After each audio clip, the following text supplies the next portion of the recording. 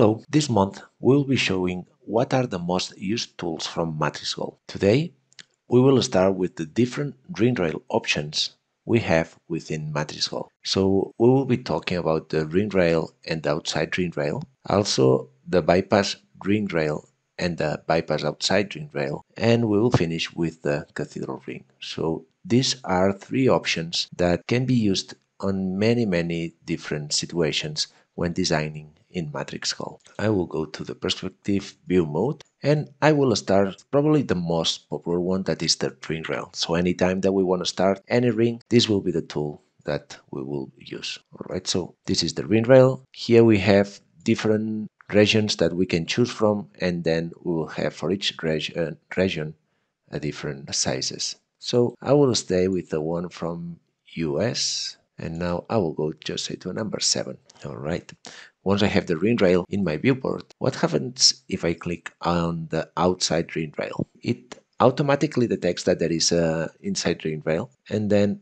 from this one we can start to make any modification. So we can play with the side thickness, with the bottom thickness and with the top thickness. Also you can go to the quick commands and you have this pop-up window that is telling you that if you click on the left button from your mouse you will get the ring rail. And if you click on the uh, right button of your mouse you will get the outside ring rail. So let me click on the right button so I get again the outside ring rail. It's worth to mention that this is parametric meaning that if I go to edit the ring rail and now I just change I can go from this slider and I start to change the size the outside ring rail will always follow the inside ring rail. One tool that we use very often once we have the ring rail and outside ring rail is the profile placer. When we click on the profile placer, it's asking us the select curve. This is the internal curve, the ring rail, the size from for our ring. And in this other box, if I just select outside, you will see that the ring rail adapts to the outside curve. Now, if I go back to the outside ring rail and I edit, you will see how the profile adapts to the height or, or the thickness. Alright, so this would be the first scenario. Also, it will work with a gem. So if I use the gem and I go to the gem on ring rail, because I'm talking to the ring rail, the gem will, will follow the ring rail. So again, if I go to the slider and I change the size again, as you can see, the stone always adapts to the ring rail. Alright, so this is the, the ring rail and outside ring rail. Now let's go for the bypass ring rail. So we will go back to the tools tab and now I will select the bypass ring. What options do we have with the bypass ring? Alright, so we can play a bit with the bend for this end, how close we want the bend to be, and also the overlap. So as you can see, this one is going farther on this direction and this one on the opposite depending on what setup we use in the overlap. Now that we have been talking about the ring rail, the same will happen if we use the bypass outside ring rail. So from the moment that I click on the bypass outside ring rail, it's detecting that there is an inside ring rail. Again, as I was doing with the outside ring rail, I can select what thickness do I want from these three different parts of my ring rail. Again, this is parametric. I can go back to the original one and if I want to go like this everything it's following. The outside ring rail it's following all the different changes that we are doing to the bypass ring rail. Something that is very convenient with the bypass ring rail if I go to edit is this toggle that we have here and it's the bridge toggle. Many times we will add gems in this ring so if we click bridge toggle we get just this bridge in the middle of the bypass ring rail. So once I validate, in case that I want to add any gem, I will do what I was doing with the ring rail, gem on ring. Because I selected this one, the stone is detecting that we are using this one as a target. Of course that the stone goes always to the zero location, but if we want to place it just in the middle, is as easy as going to location and just click 0.5 because you know that always in matrix we go from 0 to 1 so if we want it in the middle it will be 0.5 so from the moment that I put it in the 0.5 I get the gem just in the middle.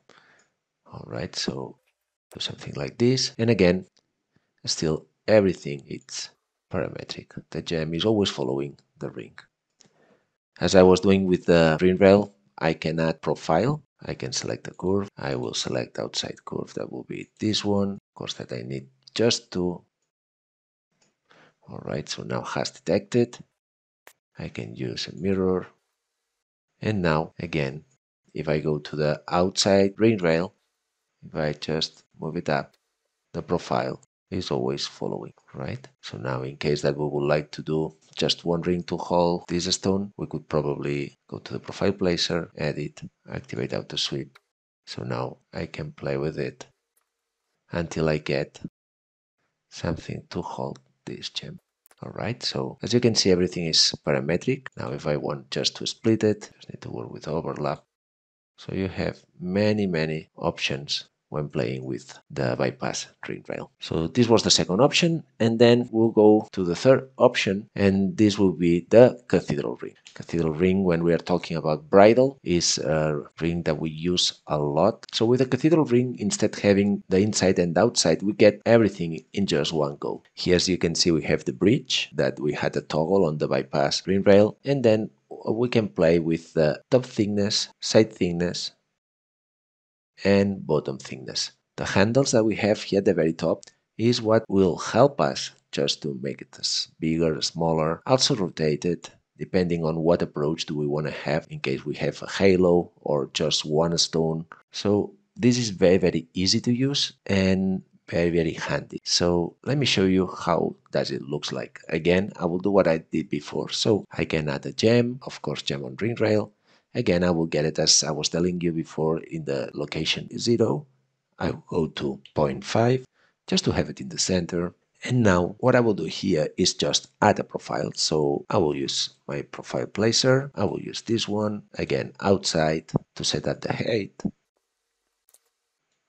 And I will just make it smaller. I will add one here, one in the middle, but to this one, I would I would say that I want a mirror because now I have, you know, more room to play.